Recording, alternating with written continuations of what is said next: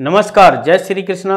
मेरे प्रिय दर्शकों, बात करने वाले हैं अक्टूबर राशिफल के बारे में कि वृश्चिक राशि वालों के लिए अक्टूबर का महीना कैसा रहने वाला है।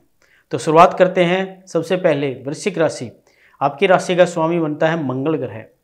और प्रिय दर्शकों, यदि आप अपनी कुंडली का विश्लेषण कराना चाहते हैं तो हमारे दिए गए नंबरों पर संपर्क कर सकते हैं।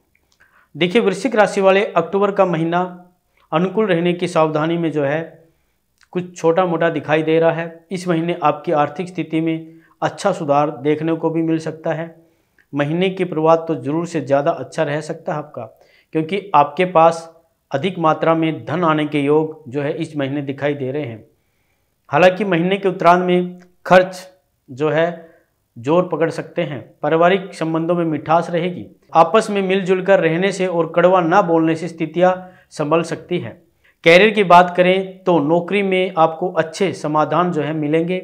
आपको अपने वरिष्ठ अधिकारियों की कृपा पाने के लिए थोड़ा सा प्रयास करना होगा, क्योंकि कुछ मामलों में वह आपसे नाराज़ हो सकते हैं।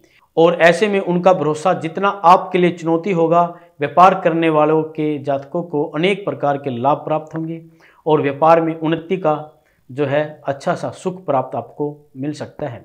प्रेम संबंधों में उतार चढ़ाव के बाद भी प्रेम का अंश बचा रहेगा जो आपके रिश्तों को संभालेगा। विवाहिक जीवन बिता रहे लोगों को सुख की प्राप्ति होगी और जीवन साथी का अच्छा सानिध्य प्राप्त होगा।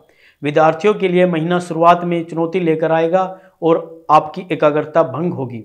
महीने की शुरुआत में विदेश जाने के इच्छुक लोग विदेश जा सकते हैं और वहाँ अनेक प्रकार की सुख सुविधाओं की प्राप्ति होगी। इस महीने आप कोई नया वाहन या महँगी वस्तु खरीद सकते हैं। तो प्रिय दर्शकों अब आपके लिए क्या खास उपाय हैं जो अक्टूबर के महीने में आप कर सकते हैं?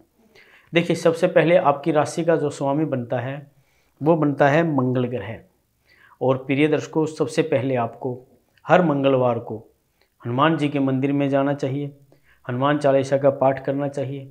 आपको श्री दुर्गा कवच का पाठ ज़रूर करना चाहिए। इसके अतिरिक्त प्रतिदिन श्री दुर्गा चालीसा का पाठ व माँ दुर्गा के मंत्र का भी जाप आपको ज़रूर करना चाहिए। भगवान शिव का रुद्राभिषेक करना आपके लिए अति उत्तम रहेगा।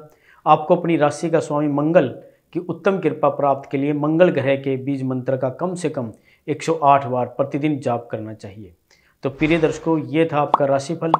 और यदि आप अपनी कुंडली का विश्लेषण कराना चाहते हैं तो हमारे दिए गए नंबरों पर संपर्क कर सकते हैं। जय माता दी।